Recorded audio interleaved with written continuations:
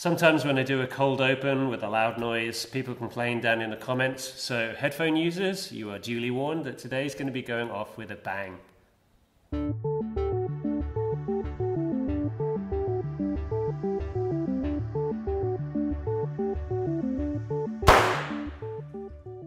This demonstration is a nice way to wrap up a lesson on squeaky pop tests. If you've just been doing a lesson where students have been collecting and testing for hydrogen gas, they may have noticed that some of the tubes might have gone a little bit quieter than some of the others. For example,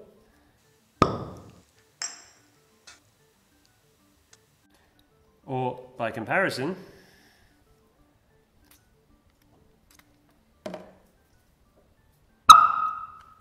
Now, a lot more satisfying. And of course, this is all down to the differences between the fuel air mixtures that students will have collected when doing this demonstration. If they're lucky enough to be in a school where there's a hydrogen cylinder kicking around, maybe the teacher might demonstrate for them a whole hydrogen balloon going off. But in the environment of a school laboratory, it's actually not recommended to play around with hydrogen oxygen mixtures in party sized balloons. This is due to the fact that the smaller scale of the room can lead to damaging levels of sound. And this is where dynamite soap comes in. So the max recommended quantity of hydrogen-oxygen stoichiometric mixtures to ignite in a school laboratory setting is 10 centimeter cube. So what you can do is load up a couple of cylinders or syringes of hydrogen and oxygen and use these to put in the correct mixture into a smaller syringe like this, ready to ignite at the end of the lesson.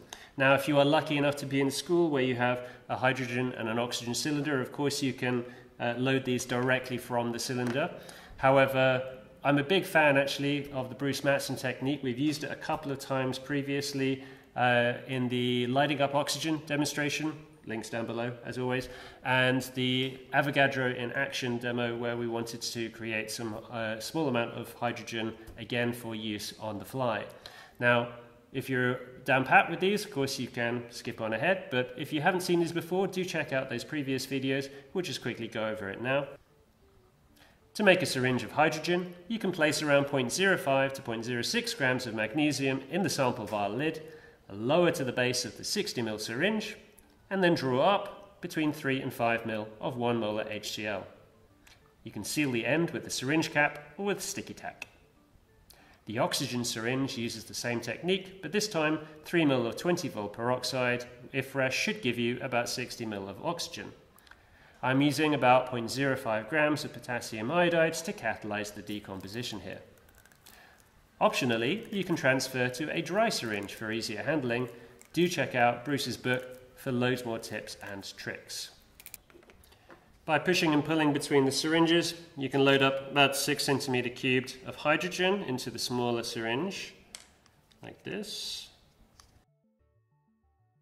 And I'm applying a little bit of pressure on the table here to assist me. It's harder for me to film this with one hand uh, on the ground while I'm operating the camera at the same time. Okay, that's 6 mil, that's nice. And then we do the oxygen next.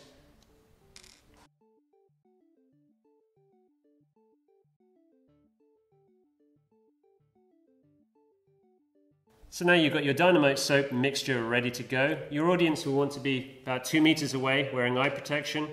Uh, and you might want to demonstrate the hydrogen on its own to begin with for a number of reasons.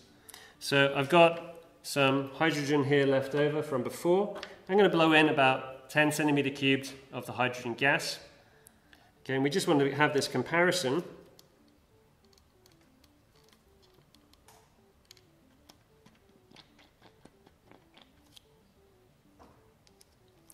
Now one of the benefits of doing this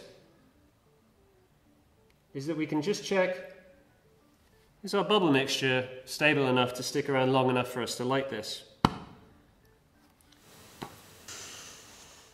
Not a very satisfying reaction, but crucially we did get the bubble mixture to hang around. If you're finding that your bubbles are popping a little bit too quickly, I can highly recommend swapping out store-bought bubble mixture for the CLEAPSS recipe. CLEAPSS's recipe is absolutely fantastic uh, for making stable bubbles and as always the recipe and instructions are down in the links underneath. A couple of other things I might point out, a little extra tip, is that if you have something a little bit smaller, this is also plastic, okay, but being a little bit thinner diameter just allows a little bit of extra support to the bubbles if they're not hanging around long enough. And if you're struggling to actually get a smooth flow to get like smaller bubbles, then cutting the end off of a, a dropping pipette like this and sticking it onto the end of your syringe can help you to deliver some smaller bubbles.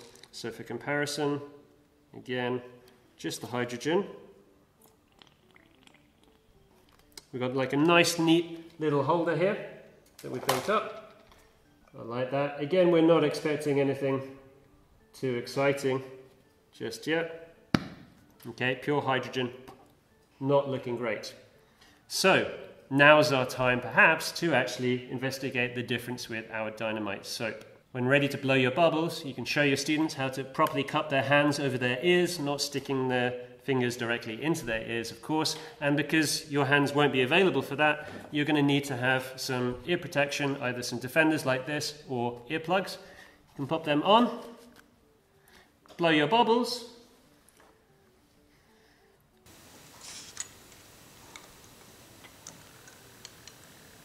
Pushing in slowly, getting a nice bubble raft. Warn your students that there's going to be a loud noise, which should be obvious by now. I'm going to give myself a little bit of extra distance.